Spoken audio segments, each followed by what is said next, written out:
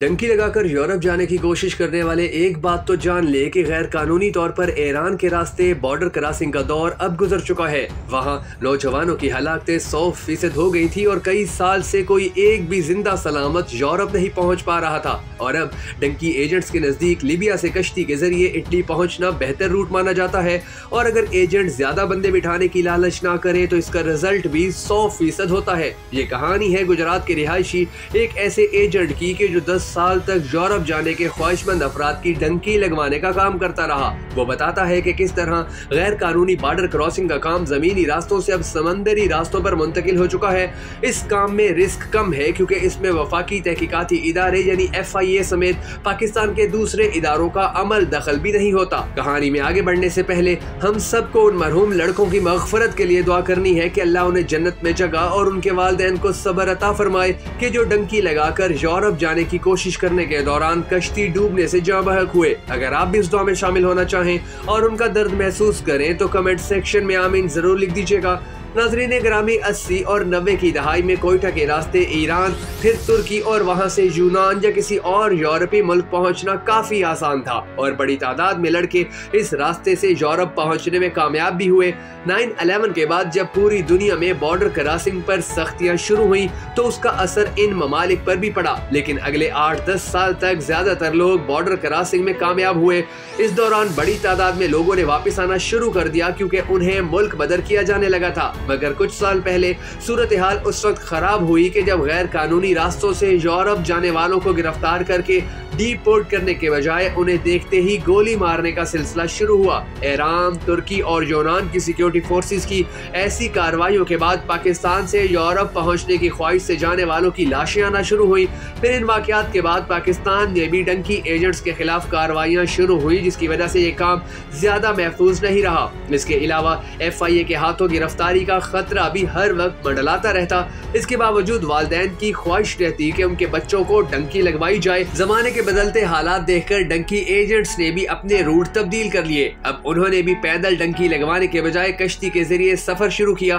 ये नया रूट निस्बतन महफूज था और अगर एजेंट लालच ना करता तो इस डंकी में रिज़ल्ट सौ फ़ीसद और जान का खतरा भी कम था। एक लड़के को पाकिस्तान से यूरोप पहुँचाने के मरहले में दो एजेंट काम करते हैं। पहले एजेंट का काम पाकिस्तान से लीबिया पहुंचाना होता है और दूसरे एजेंट लीबिया से आगे इटली पहुँचाने का जिम्मेदार होता है। पहले एजेंट की तरफ़ से लड़कों का दुबई का वीज़ा लगवा कर उन्हें वहाँ पहुँचाया जाता है।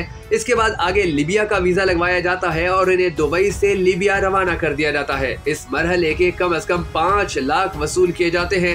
लीबिया में अलग से एजेंट मौजूद होते हैं, जिनके साथ पहले से बात तय होती है और इन्हें लड़कों की तादाद और रकम की अदायगी के बारे में पेश की ऑर्डर भी दिया जाता है। लीबिया से इटली पहुँचाने के 1500 से 2000 डॉलर लिए जाते हैं ये रकम पाकिस्तान में मौजूद एजेंट लीबिया के एजेंट को हंडी के ज़रिए भिजवाते हैं और रकम वसूल होने के बाद ही वो भिजवाए गए लड़के को कश्ती पर बिठाते हैं। राजदारी इनके काम का अवलीन असूल होता है। लीबिया के एजेंट कभी भी यहाँ के भिजवाए गए लड़के को ये नहीं बताता कि इसको कितने डॉलर मिले हैं। पाकिस्तान में मौजूद एजेंट इसी बात का फ़ायदा उठाते हैं और ज़्यादा मुनाफा हासिल करते हैं। कुछ अर्सा पहले ही जो कश्ती उल्टी और उसमें गुजरात के लड़कों की जाने गई, उनसे 20-20 लाख रुपए में मामला तय किए गए थे। यू पाकिस्तानी एजेंट ने अपना मुनाफा ज़्यादा रखा। लीबिया से आगे इटली पहुँच जाने वाले एजेंट्स का ये दावा होता है कि उन्होंने फ़ी कश्ती के हिसाब से बहरी ड्यूटी देने वाले एहलकारों से मामला तय किए हैं। इस वजह से उनको ये लालच होता है कि वो ज़्यादा से ज़्यादा बंदे बिठाएँ, ताकि कम कमीशन में ज़्यादा लोगों को समंदरी डंकी लगवाई जा सके। इसी लालच की वजह से कश्ती डूबने जैसे वाकयात में जाने भी जाती है। एफ़ आई ए का इजाद इंसानी स्मगलिंग विंग मुल्क के मुख्तलिफ़ इलाकों में इंसानी स्मगलिंग की रोकथाम के लिए काम कर रहा है। इजाद इंसानी विंग के एक अफसर का कहना है की मुल्कों की सरहदों पर अब वो सूरत हाल नहीं रही, जैसी पंद्रह बीस साल पहले हुआ करती थी। बॉर्डर पर सिक्योरिटी फोर्सेस का सख्त पहरा है। इसके अलावा ईरान में इनकी सिक्योरिटी फोर्सेस की पॉलिसी ज़ीरो टॉलरेंस की है। तुर्की में भी काफ़ी सख्ती हो चुकी है और जो लोग कानून की गिरफ्त में आ जाएँ, उनका बचना नामुमकिन हो जाता है। आज तक ईरान की सहराओं में सैकड़ों नौजवान मारे जा चुके हैं। इनकी तो लाशें भी वापस नहीं आई और वो बेगोरो कफन वही पड़े, हड्डियों का ढांचा बन गए। इनकी वापसी की आस लिए वालदेन और बीवी बच्चे सारी ज़िंदगी इनके इंतज़ार करते रहेंगे। वस्ती पंजाब के इजला, गुजरात, मंडी बहाबुद्दीन और हाफजाबाद वगैरह में कश्ती के ज़रिए नौजवानों को इटली भिजवाने में इजाफा हुआ है। साथ ही ये इतलात भी आ रही है कि कुछ महीनों के दौरान कश्ती उलटने के कई वाकत हो चुके, लेकिन वालदेन मुबैना तौर पर इसे रिपोर्ट ही नहीं करते और कोशिश करते हैं कि इनका मामला छुपा रहे। मुतासरा वालदेन की तरफ़ से मामला को छुपाने में एक तो एजेंट का किरदार होता है, जिससे इन्होंने अपनी रकम वापस लेनी होती है, क्योंकि हादसा होने पर एजेंट कह देता है कि अगर आपने एफआईए वालों को मेरा नाम बताया तो आपकी सारी रकम डूब जाएगी। हालिया दिनों में जो समंदरी रास्ते अख्तियार किए जाते हैं, इनमें एफआईए का बराह रास्त अमल दखल कम हो जाता है, क्योंकि पाकिस्तान की सरहद तो गैर कानूनी तरीके से अबूर नहीं की जाती। लड़कों को बाकायदा वीजे लगवा कर दुबई भिजवाया जाता है, जहाँ से वो लिबिया जाते हैं और फिर वहाँ से लिबिया की सरहद गैर कानूनी तरीके से अबूर करवाई जाती है।